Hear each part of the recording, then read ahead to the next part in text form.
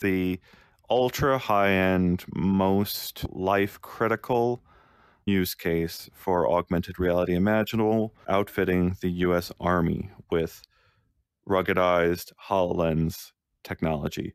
Hmm. David, you've been following this for years. When you wrote this story, you described some of the use cases, and I don't think people really grasp that they were actually talking about doing some of these things with this hardware. Can you walk us through that? This is called HoloLens IVAS, and this is, as far as I'm aware, the highest end see through AR display system uh, that's available anywhere in any actual real use case. It's essentially a HoloLens 2 on steroids, souped up with a bunch of extra sensors and a completely different optical system that has a much wider field of view.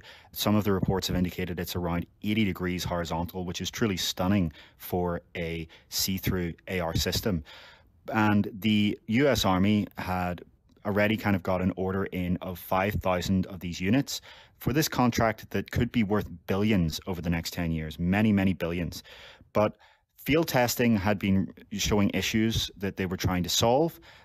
And they had hoped that the most recent field testing that was being presented to the US Congress, which makes the procurement decisions for the US military, would be positive, but it was not. And it showed issues that were mission affecting physical impairments, including headaches, eye strain, nausea, and reliability issues with essential functions failing. Some of the other tests also showed an issue where, if you've ever seen any of these see through AR systems, you'll notice that as an outside observer, you can actually notice the light in the eye of the person. So if you were in a combat situation in darkness, and you're the enemy, you can actually notice the kind of light reflecting from their AR visor, which is obviously terrible for any kind of stealth.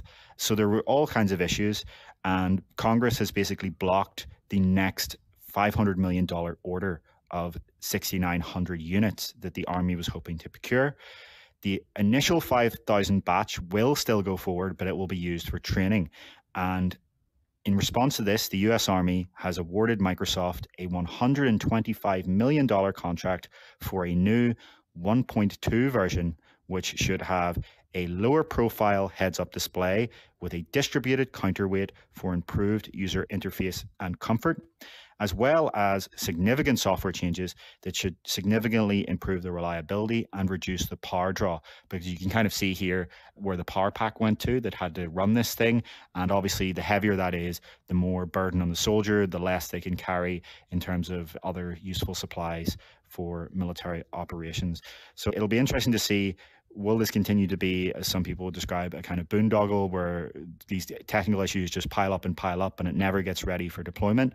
Or will they actually get it resolved? Because the US Army has indicated that their hope, their optimistic hope here is that every soldier eventually, say by the next decade, is outfitted with these. Ian was talking about what are the actual use cases it's giving you the situational awareness that you would get in a video game in real life. So you look around and you see blue dots over all of your friendly units. You look up into the sky and you see, you know, a, a blue icon on friendly aircraft. You see a red icon on enemy aircraft. If your commander sets an objective on a map, that will be translated into 3D space in the headset, and you see that. It just transforms spatial awareness.